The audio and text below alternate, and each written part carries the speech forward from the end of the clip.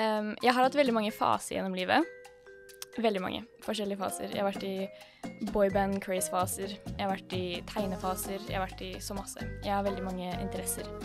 Men den rareste fasen jeg har vært i, har vært min kristenfase.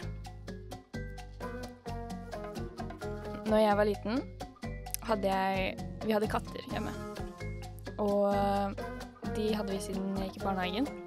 Men litt etter så fikk vi et litt uvanlig dyr. Og det var en slange. Oh. Så jeg hadde en slange som kjæledyr.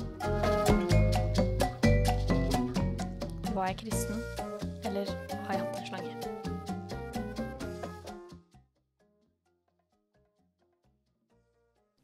Så Pernille. Ja.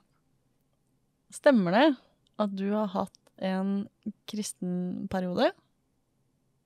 Fra du var sånn 11 til 14? 15? Ja. Eller har du hatt en meterlang slange som heter Kali? Ja. Sannheten er at jeg hadde en slange som het Kali. Jeg har aldri vært kristen. Det har jeg ikke. Kanskje du kommer dit? Ja, Kan være. Vet aldri. man vet aldri. Man vet aldri når man blir frelst. Bare snart, ja. Nå er jeg litt For jeg har liksom tatovering av en djevel baby. Det er ikke så innafor, kanskje. Nei.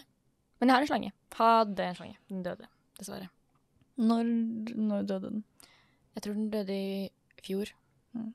Alle mine Altså, både Nei, den døde kanskje i forrige fjor. Mm. Når um, Eller var det i fjor? Jeg husker ikke. Men når katten min døde, så døde slangen min rett etterpå. Så alle mine childhood pets er døde. Mm. Det er veldig trist Ja. å høre. Men det går bra. De, han, slangen er begravd i hagen til mamma og pappa. Mm. De planta et tre over. Koselig. Mm. Så da har vi lært at Pernille, veldig glad i slanger, har hatt en slange, har ikke vært kristen. Mm -mm. Dessverre. Kanskje ikke dessverre. Kanskje. Det er greit. det er greit. Det er greit. Ja.